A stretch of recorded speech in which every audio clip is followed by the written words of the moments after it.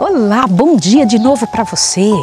Nós que conversamos ontem de manhã sobre o capítulo 55 do Desejado de Todas as Nações e falamos com você sobre o reino de Deus que não vem com aparência externa, e sim com a, não vem é, por fora, é por dentro do coração. Vamos hoje falar de outro assunto tão importante. Deixai vir a mim os pequeninos. Vamos orar juntos? Senhor Deus, misericordioso Pai, louvado seja o teu nome pela chance que temos de estudar estas verdades tão lindas que o Senhor tem para nós.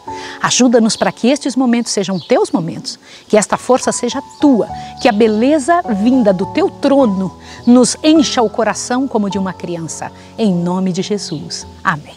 Jesus sempre foi apaixonado pelas criancinhas.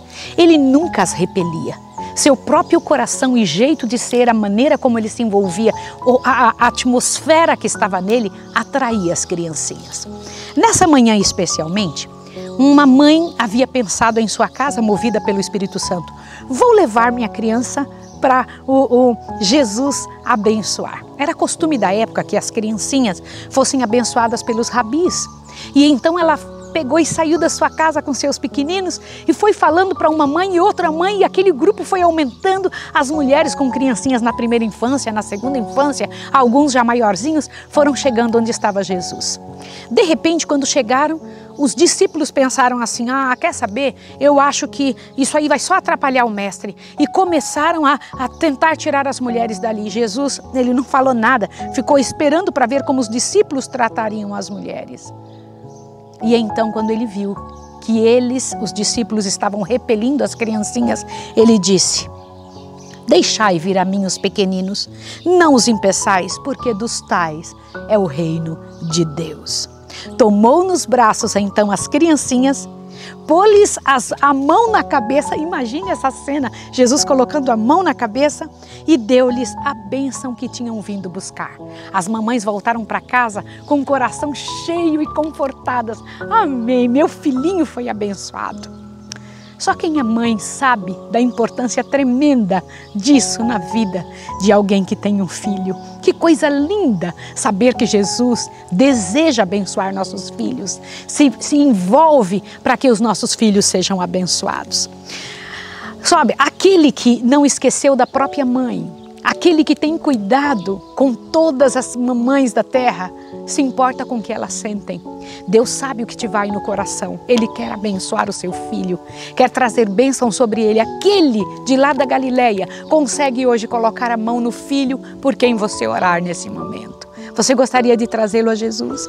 Vou te explicar umas coisas lindas que Jesus disse. Se vivemos em comunhão com Deus, também nós podemos esperar que o Espírito Divino pode, possa moldar os pequenos já desde os primeiros momentos da concepção. Quando eu li isso hoje de manhã, meu coração ficou apertado. Eu falei, Senhor, quantas mães não sabem disso?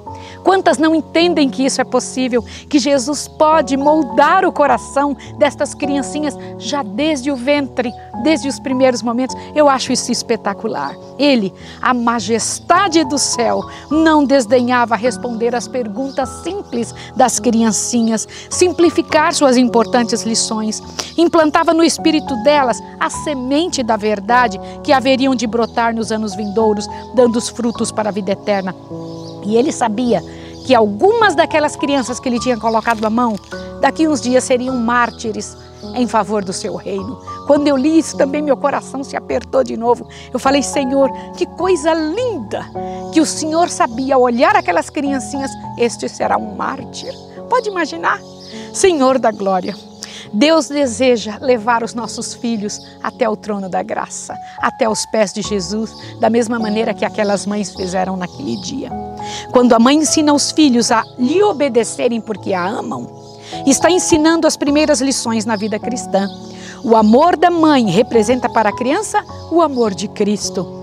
E os pequenos que confiam em sua mãe e lhe obedecem estão aprendendo a confiar no Salvador e a obedecer-lhe. Jesus era um modelo das crianças e também exemplo dos pais. Falava como quem tem autoridade e sua palavra tinha poder. Todavia, em seu trato com os homens, os homens, mesmo que fossem rudes homens e violentos, nunca empregou uma expressão desagradável ou descortês. A graça de Cristo no coração comunicará uma dignidade de origem celestial, o senso do que é próprio. Suavizará toda a aspereza e subjugará tudo quanto é rude e destituído de bondade. Levará os pais a tratarem os filhos como seres inteligentes, como eles próprios gostariam de ser tratados. Eu preciso comentar isso com você. Às vezes você está aí comentando assim, mas Maísa, eu fui tratada de maneira tão terrível, eu não aprendi isso na minha vida, mas a graça de Jesus pode fazer isso com você, para que você aprenda a tratar bem os seus próprios filhos. Lindo, fantástico. Agora deixa eu comentar uma coisa com você. Se você perguntar para um jardineiro que tem flores tão bonitas como essas que nós temos aqui, como é que ele faz para elas se tornarem flores lindas? É com brutalidade ou cuidando de cada pedacinho mais simples, cada hastezinha, colocando com cuidado a água sobre elas? A mesma coisa com as crianças. Para que elas possam florir, temos que dar a elas condições para que isso aconteça. Falar com elas com carinho, não gritar com elas. Trabalhar com amor exige tempo, exige sacrifício, mas é possível. Ensinai a ver Cristo na natureza. Saia com elas Mostre as coisas que Jesus fez. Animai a expressão de amor para com Deus e para com os outros. Ao lhes comunicardes a confiança em vós, como seguidores de Cristo, fácil vos será apresentar a eles as lições de vida. Tremendo, ó. deixai vir as minhos pequeninos. Quando Jesus disse aos discípulos que não impedisse as crianças a ir ter com ele, falava todos os seguidores de todos os tempos: não impeçam as crianças de virem a mim. Não os impeçam com tratamentos rudes. Não as impeçam dando para eles qualquer joguinho, qualquer coisa que vai tirar a atenção do Salvador. Nunca lhes deis motivos para pensar que o céu será um lugar aprazível para ali eles não quererem estar. Fala assim: olha, não vai ser bom o céu porque é muito chato, com muitos nãos. Cuidado ao passar essa impressão para os filhos. Se as crianças pensarem que seguir a Deus é uma coisa difícil, elas não vão querer ir para o céu. Seu coração estende-se não somente para as crianças bem comportadas, ouça isso aqui, mas para aquelas que têm por herança traços objetáveis de caráter. Ó oh, Senhor Salvador, obrigada por deixar isso escrito. O amor de Jesus não é só para criancinhas boas. O amor de Jesus é para aquelas que são más também, que receberam por herança alguma coisa ruim. Muitos pais não compreendem quando são responsáveis por esses traços em seus filhos. Pais erram, pais também trazem problemas para os filhos. Pode ser que alguém tenha errado na sua educação, mas Jesus ama você e quer ajudar você. Ele pode criar você de novo. O obreiro cristão pode ser um instrumento de Cristo em atrair essas crianças ao Salvador, porque dos tais é o reino dos céus. Louvado seja o nome do Senhor. Quero hoje pedir a Jesus que abençoe a sua criança. Você deseja que eu peça isso? Eu vou pedir agora. Senhor Deus bendito, louvado seja o teu nome.